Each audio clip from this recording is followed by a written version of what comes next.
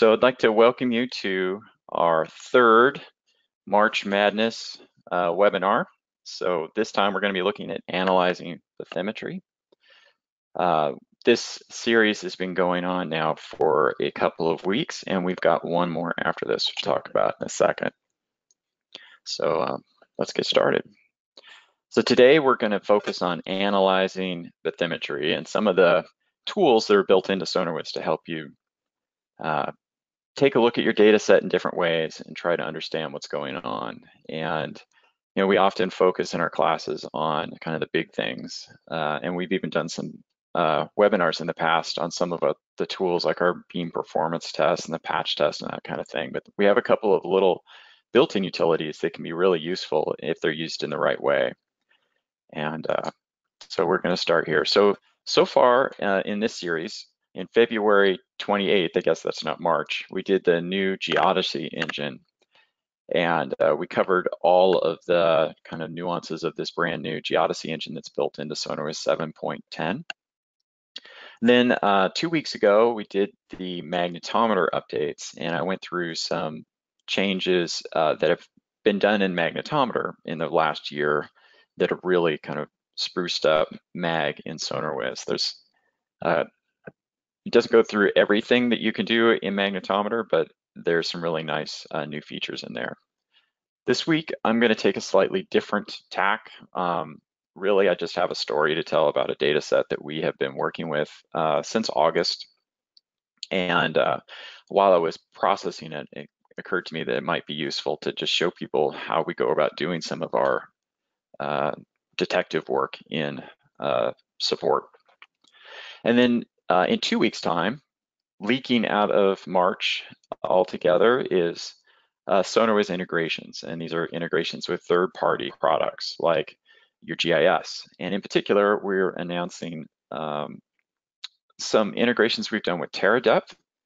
So this is a 3D uh, cloud-like environment where you can host your own survey data and put it up in the cloud. And SonarWiz has some uh, compatibility with that. So we wanted to talk about that. So just a little bit of housekeeping. If uh, you have any questions at all uh, while we're doing the presentation here, you can either use the tools in the GoToWebinar interface. There is a section where you can raise your hand and ask questions. If you type them in the, the little box, uh, either myself or Patrick will answer them. And uh, if there's a enough good ones, we'll take some time at the end of the talk and go over those um, just so I can fill you in a little bit more. If you're watching this on the web after the recording is over or you have uh, a, a, question occurs to you later, you can just send it to support at chesapeaketech.com and we'd be happy to answer any questions you have about SonarWiz. So we've done one other um, webinar on bathymetric utilities uh, a couple years ago, and it was this in particular covered two parts: the patch test utility and the beam performance test. And in that, our general manager went over pretty nice data sets where he was processing uh, a patch test and did some beam performance tests and gave some good tips on how you should collect that kind of data if you want to evaluate how your sonar is doing. Uh, so I'm going to not talk about those in this particular talk and show you some of the other data or uh, other utilities that are built into SonarWiz. So uh, to start with, I'm just going to give you a little bit of background about uh, where we are in the world and why we collected this data set and uh, sort of what I was trying to do, and then walk you through what I did to try to understand what we had collected and whether our equipment was working properly or not. So uh, over the course of this talk, I'll talk about our profiling utility. So you can, how you can export profiles out of SonarWiz wherever you draw a mouse. Uh, we have a cross-section report utility that allows you to do cross-sections cross sections at regular intervals across the survey area. And I'll show you how to set that up. It's kind of a uh, process to get that going. And then we have the volume and difference calculator, which can be used in a couple of different ways. And I'll show you two of them. You know, one you can, it's used for comparing two different uh, grids to each other and computing both the difference between them and if they're uh, bathymetry grids that would calculate the volume difference that is generated. So this would be useful if you're doing dredging or if you're comparing two surveys with each other. And then uh, the, the last thing I want to talk about is a, our A minus B comparison tool, which once you've computed differences between the two, um, where, where did those differences actually occur? And in this, this tool is not just about working with bathymetry, it can also work with uh, backscatter. And then finally, um, this is just a fantastic data set in three dimensions, and I want to show that off before uh, we finish off the, uh, the webinar, because there's some cool tools in SonarWiz that can make that look really awesome.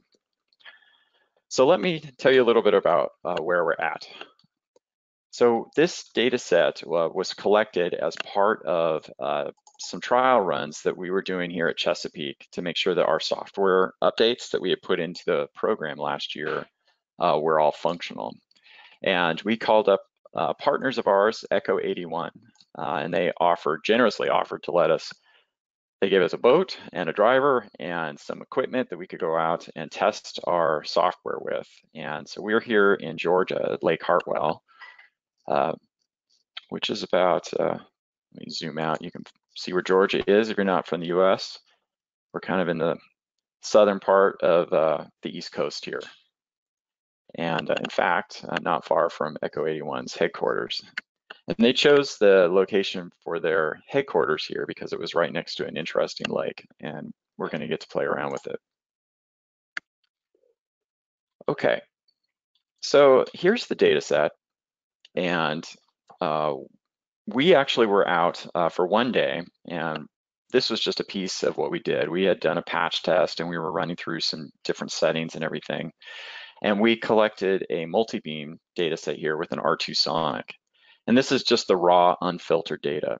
And there's lots of things about this that pop out right away. And the first one is it's it's uncleaned. I haven't gone through and cleaned it up. And in fact, uh, while we were collecting the data, we were having trouble with the bottom tracker.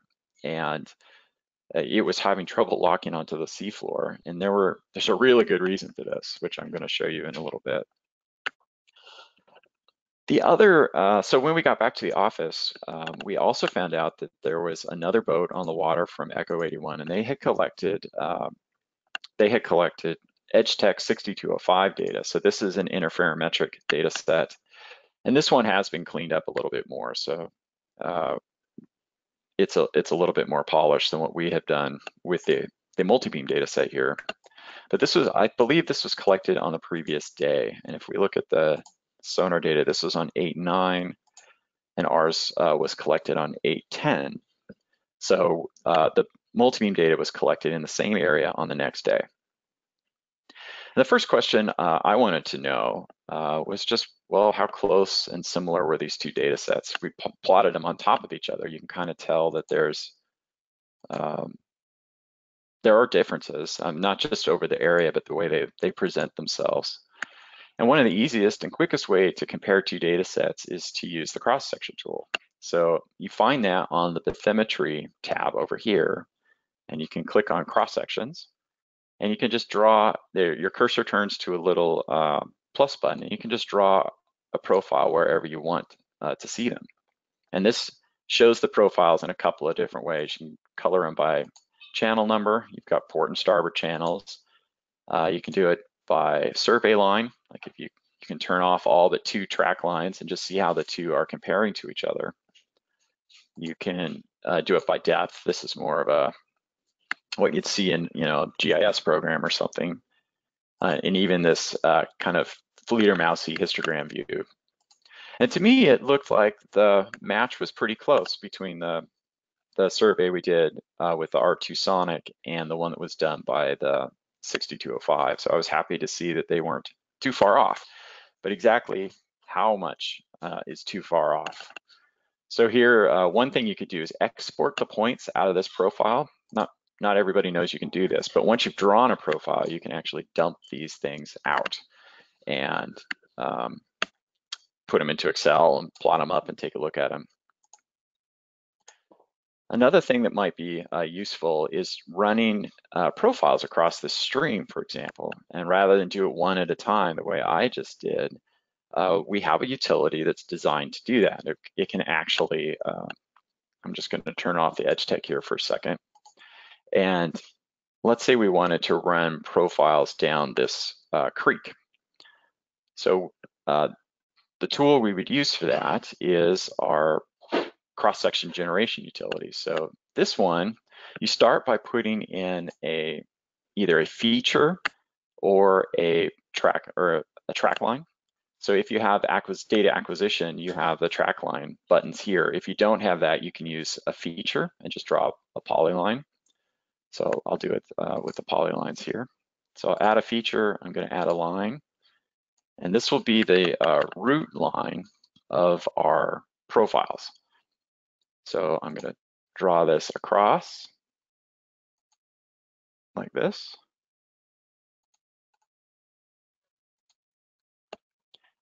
And now what I wanna do is uh, go over here.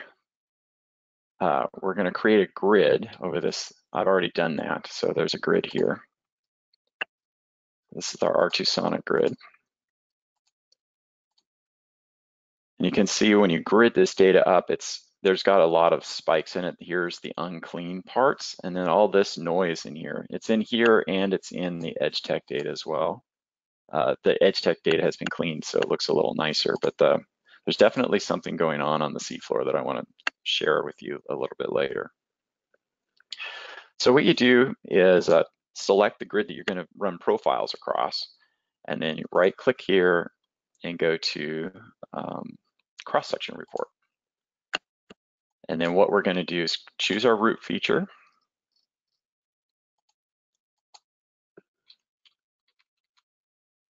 Actually, in this case, I've got a whole bunch of other features in here. This is kind of getting confusing. Let's use the other way. So we'll do it with the uh, line manager here, and I'll put it in the same place. So I've got a line, and now I'm going to select here go to cross-section report. And the root line this time is going to be line one. That's this guy right here. And I'm going to draw the lines on the right-hand side of the line, and we're going to go this way. So a number of lines to generate, let's do like uh, 10 of them. And we'll do them at 25 meter spacing. And then we can make a, a uh, cross-section report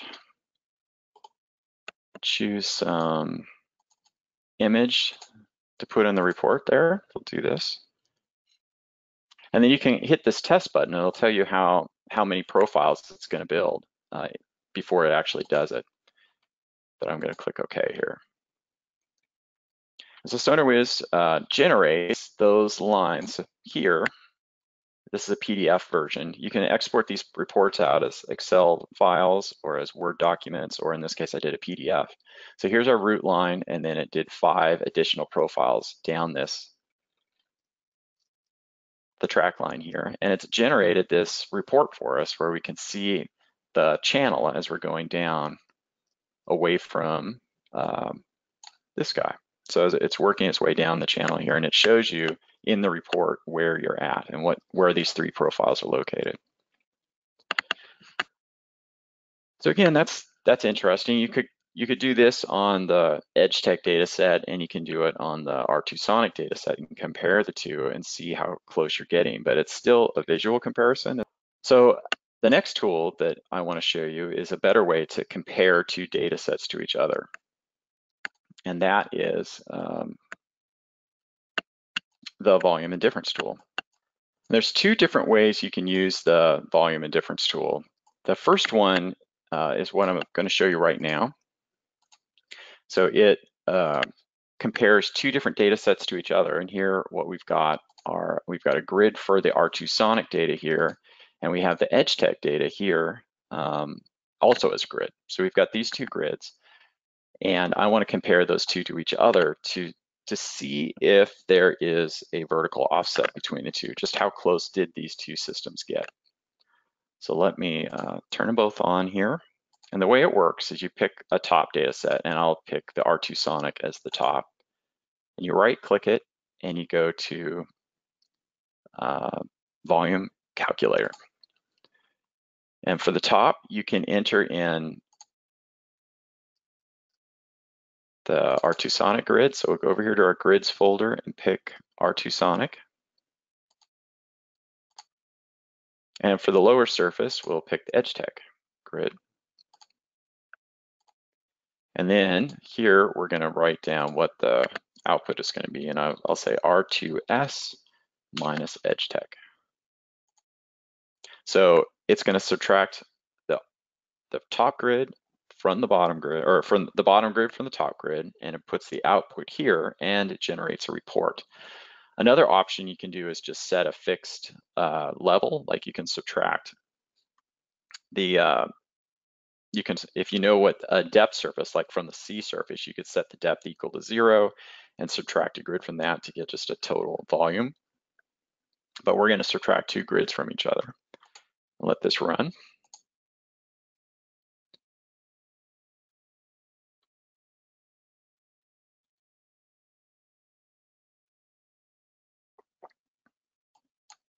Okay, so now it's computed the difference and it's generated this report.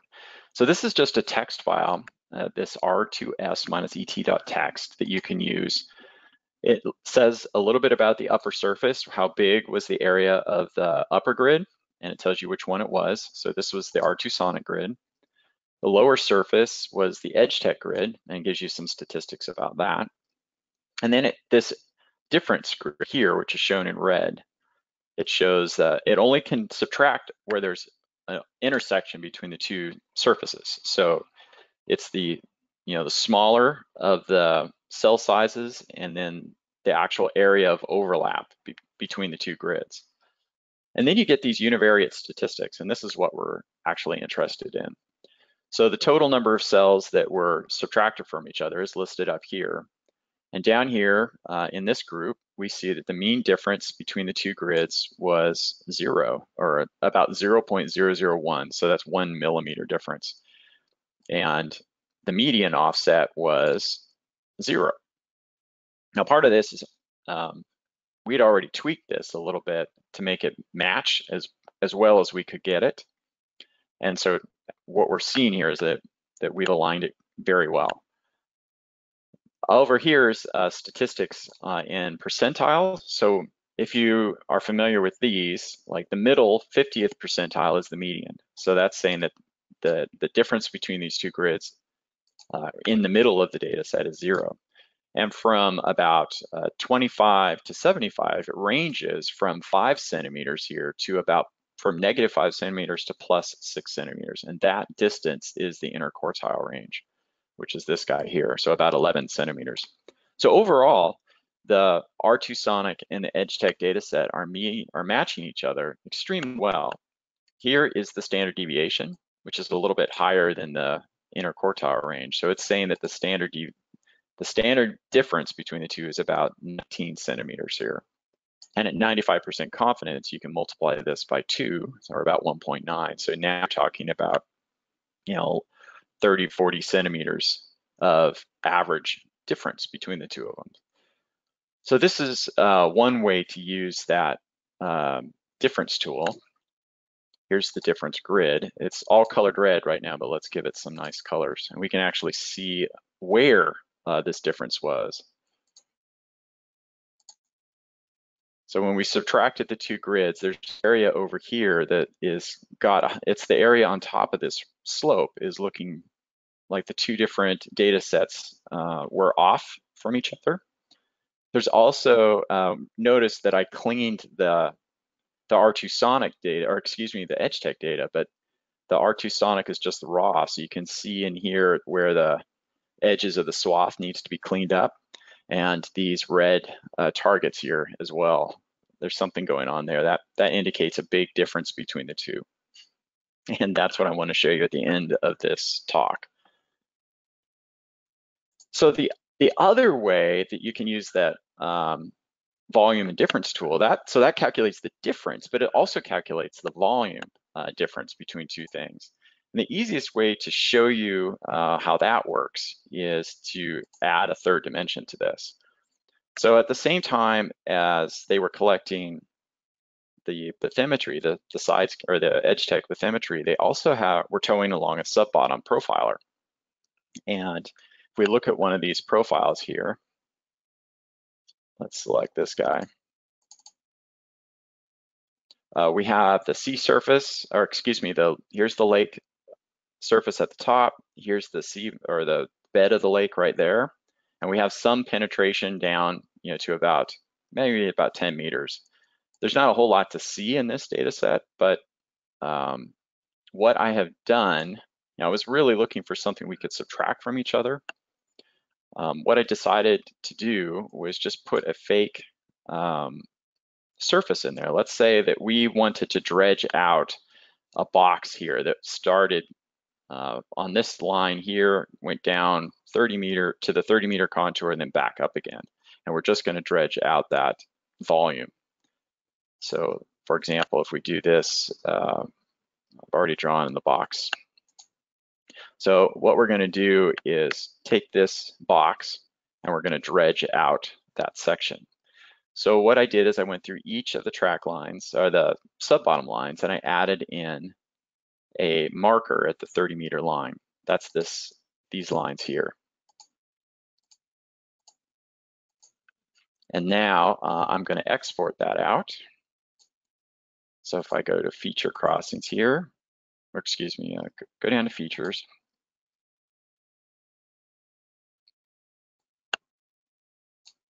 I call this RF0 just so I could figure out, uh, give it a name. I'm going to export. I'm going to export a feature by name, and I'm going to do all the RF zeros as an XYZ text. And this is going to be saved in the shapefile here. So it creates a uh, text file. And inside of that text file is going to be the uh, eastings, northings, and depths. It's taking Notepad a long time to open this file. So here it is, eastings, northings, and depths. And it's basically just along these profiles here, right there, and there, and there. So if I grid those with the gridder, I get this. And this surface is below the bathymetry. I can show you that here in our 3D display. So if we go here to the view and enable this here, and we'll put the R2 Sonic data set on top of it.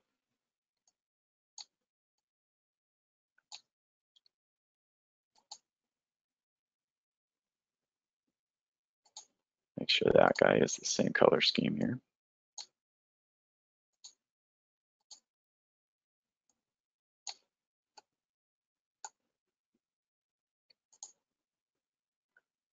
So R2 Sonic first and then we'll put the reference data underneath it. And there you can see it. It's kind of uh, exaggerated here. Uh, you can use this slider here to show how much you've exaggerated it. So now that's about four times exaggeration. Now this is fake. I just drew this in there but now what we're going to do is if we dredged all of that out down to the surface, what would be the volume that was actually being removed? And that's the second thing I want to show you about this volume and difference calculator. So the way you do that, uh, again, take your upper surface and open the volume calculator. So this time it'll be the R2S, R2 Sonic depth, and our lower grid will now be the RF0 grid. And we'll put this, this will be R2S minus RF0. And now we'll run this guy. So here's the computed difference and Notepad is opening this up.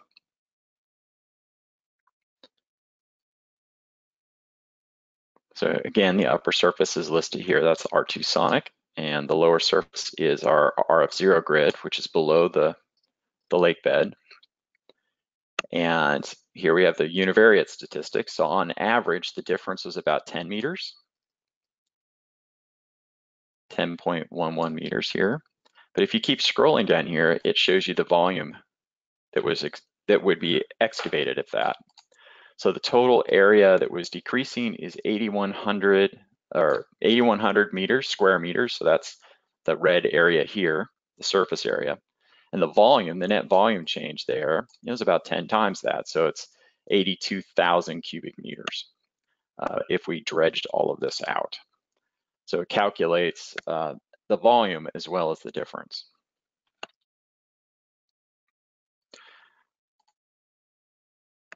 If we go back to the, the two differences here between these two data sets, when we subtracted and looked at the difference between the uh, R2 Sonic and the EdgeTech, uh, this doesn't really identify, well, you can look with your eyes, and you can see where there's been a change. But we have a different tool that is designed to just isolate where changes actually are occurring in a data set. And it can work with bathymetry data or backscatter data, and I can show you uh, how both of those work. So it's basically a variation on this theme here. Uh, we get some of the same information, but we have the ability to run a filter over it and only look at the parts that are interesting to us. So to start with, I'm going to turn off the difference grid here and turn back on my two EdgeTech and R2 Sonic grids. So we'll start with the R2 Sonic on the top and do this A minus B. So it preloads R2 Sonic there. And so we're going to compare this grid to our reference surface, which is the EdgeTech surface.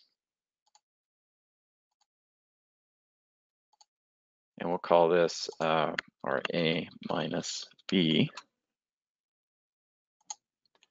And we're interested in, say, all the cells uh, we're going to ignore any change that's smaller than about 50% of the maximum difference.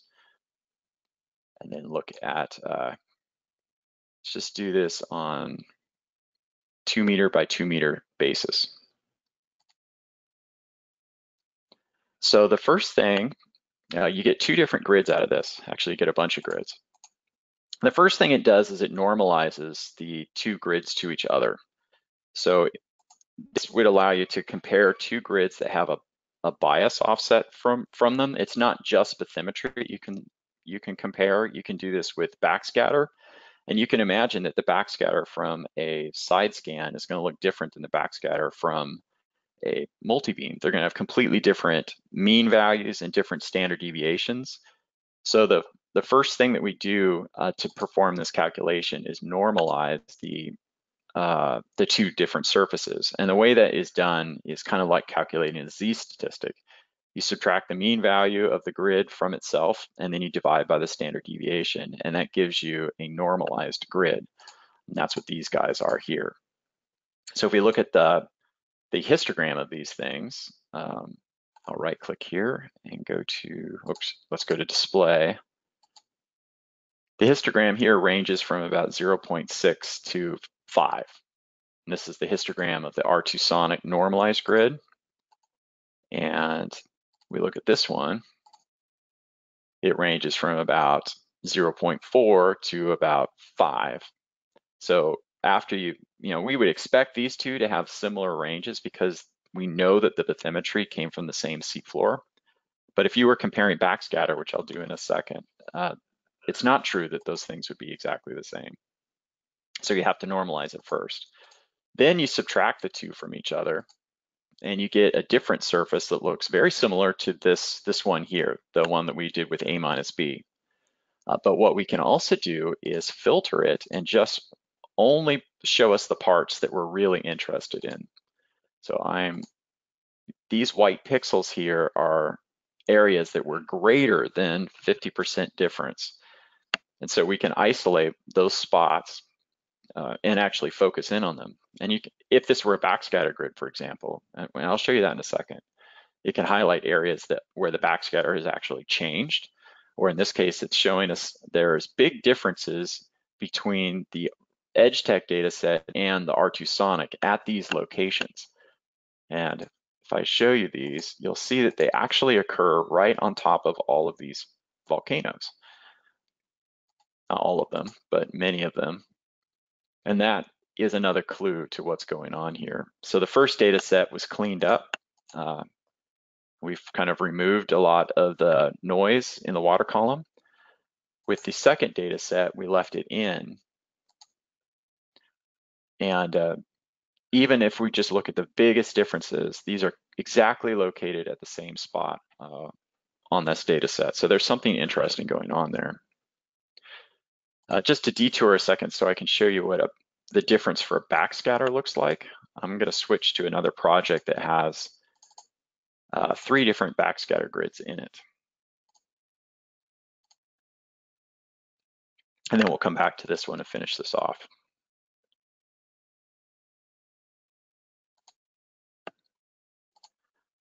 So for this data set, uh, this was provided to us by EdgeTech just so that we could develop this utility.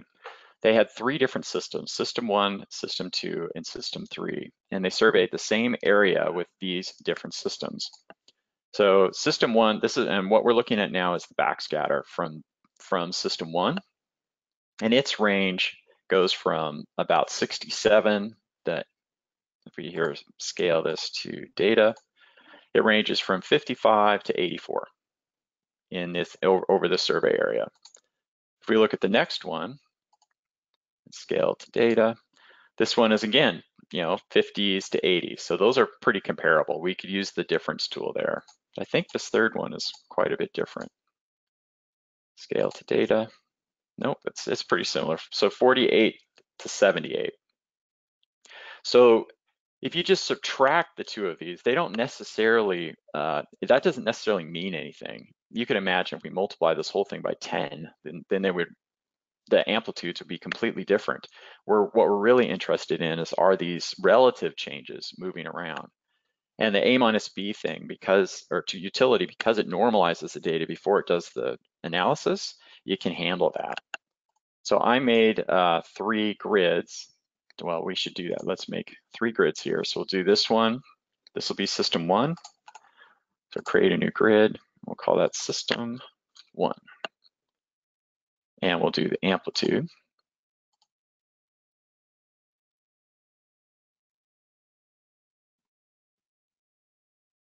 And then we'll do system three as well. Create new grid. This will be system three.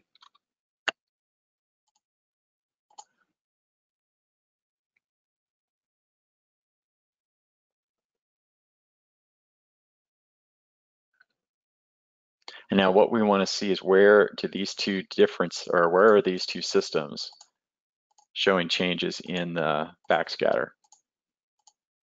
If we just turn them on and off, you can kind of see they're mostly the same, but are there any areas that are different uh, between the two surveys? So A minus B, do system one, and then for this one, we go to grids and pick system two, or three, excuse me. And this will be A minus B. And here again, we set the size area that we're gonna look at. Um, we'll do this one a three by three uh, meters uh, window. So we're looking for change in a three meter by three meter window. And we're gonna ignore cells below, say, let's just say 25%.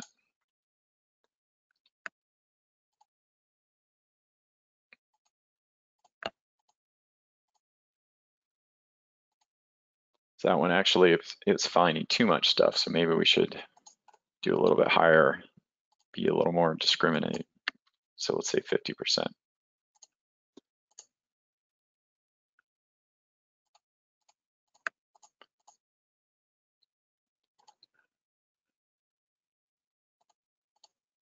So we went system one and system three. These are our two data sets. And then here is We'll make that in color so it's easier to see. These are areas where the change between the two data sets is greatest and it exceeds about 50% of the difference. So it looks at all the differences and kind of just takes the upper 50% of them. So these are the biggest areas that we're changing. There's this patch down here in the southwest corner and this patch in the northwest corner or northeast corner that uh, if we look at these two data sets, those are where the biggest changes are. So here in this data set, this area is kind of gray, um, but not super dark. But here in the second data set, it is quite dark. There's another area down here that changed quite a bit between those surveys. So this, uh, right down in here where my cursor is, and you can, this tool, this A minus B tool will highlight where those areas of greatest change are. So let me go back to the, uh, let me go back to the Lake Hartwell data here because I want to show you um, exactly what we think is going on uh, with these spots here. And it turned out it was kind of a surprise to me because I had never, uh, it, this is a reservoir, it's not a regular lake. So they flooded this in the 50s or 60s, filled the area up with water, and uh, we're surveying what's been left there for the last 50 years. And like I said, we were having a lot of trouble getting the bottom tracker to lock onto the seafloor. And it turned out the reason was uh, there's a ton of trees down there. So we have side scan for this area and you can kind of see um, where the, if you're looking straight down, this is a map view, but you can see these areas where trees have fallen over. And there is a really cool uh, feature in SonarWiz. So if we look at the water column data from the side scan, then we can pull this thing into three dimensions and actually extract out the data.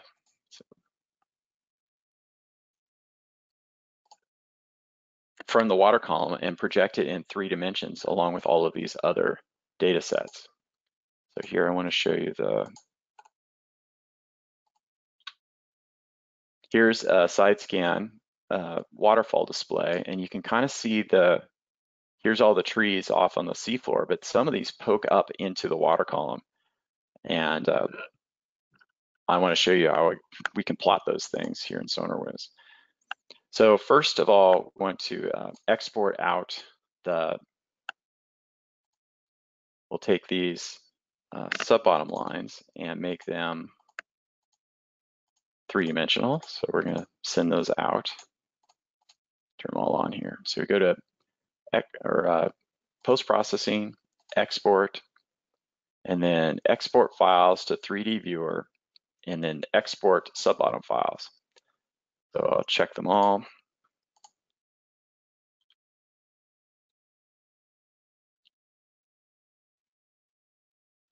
This takes a second.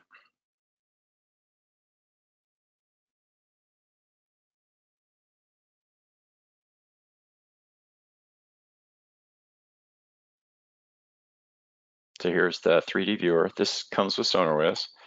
So here we have, this is everything below the lake bed that we can see.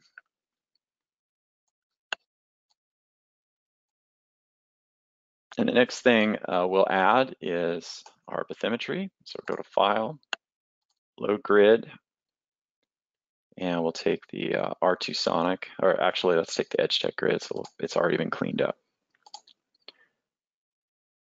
So now we've got the EdgeTech grid on there.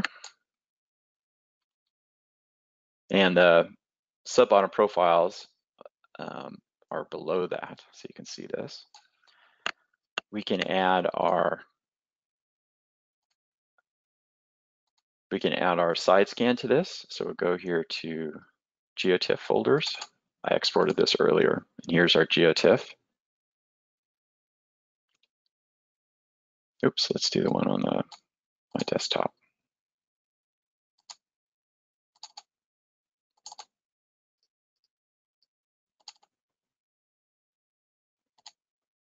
There's that. And you see SideScan doesn't have an elevation data uh, information in it. It's just a flat surface floating around on top of the data set. So what we do is we snap and register the two together. So select a grid and then drape the image on top of each other. Now they're snapped together. We're starting to see a better picture of what's going on there. But here's where things get really cool. So there is a utility in SonarWiz here where you can extract the water column. So extract water column data from your CSF files. So these are your side scan files. So if I take one of these lines and export the water column data, it takes a second to, to pull it out. It converts the water column into like a uh, sub-bottom profile. or so that we can display it in the 3D view. And I can add those in here. So you load them as XYZA files. And they're in our CSF folder. Other direction. So let's pick uh, the port side.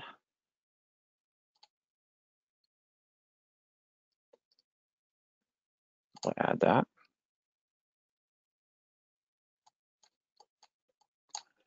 And you kind of have to play with the colors here. So I'll change the color palette to uh, from rainbow to MSTL bronze. It's one of my favorites. And change the scale down to about 100. then when we zoom in on this, uh,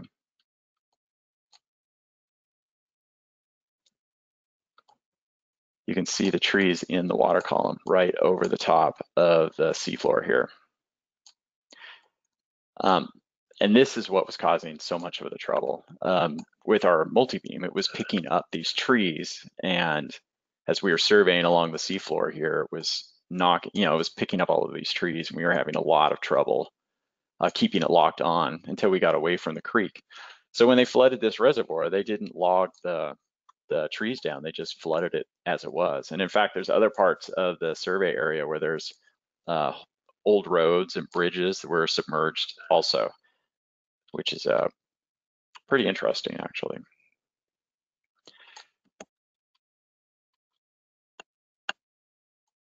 All right, back to my show.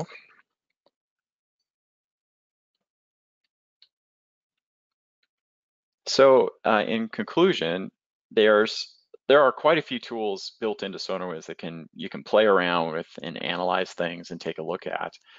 Uh, in the previous presentation uh, a couple years ago, we went over the patch test tool and the, the uh, beam performance test. In this one, I showed you how to use the profile tool, which is great for creating exports. You can draw a line, you can export out a single track line and, and work with that data. With the cross-section tool, you can create profiles at regular intervals. So in you pretty much uh, have to do a straight line. So you can draw a straight line with either a feature or a, um, use it, either use a feature or a line. I like using the track lines. I think they're easier to, to use. And then it will generate profiles perpendicular or parallel to that track line. So you can go across your entire survey area that way. The volume and difference utility is it takes two grids and it subtracts them from each other and it computes the statistics between uh, the results. So if they're if they're very close together, you, you can see that their mean difference would be zero or very close to zero. And you can see what the standard deviation is, so how much noise is there between those two data sets.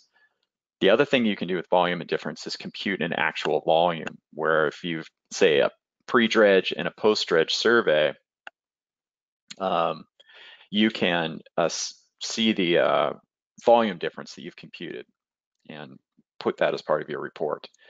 And then finally, we've got this A minus B tool, which will allow you to isolate the exact spot in your survey area that's changed. And the biggest, uh, I think the best use of it is like, let's say you've done a, we, what we were looking for when we developed this tool was a way to subtract two backscatter data sets from each other that were collected by different instruments at different ranges and still be able to see where changes have occurred. And that's what the A minus B is best at. You can use it for other data types though. You can use it for bathymetry or um, any, any two grids that you get into SonarWiz, you can use those. But it helps, uh, they don't have to be exactly the same type. They don't have to both be um, from the same instrument.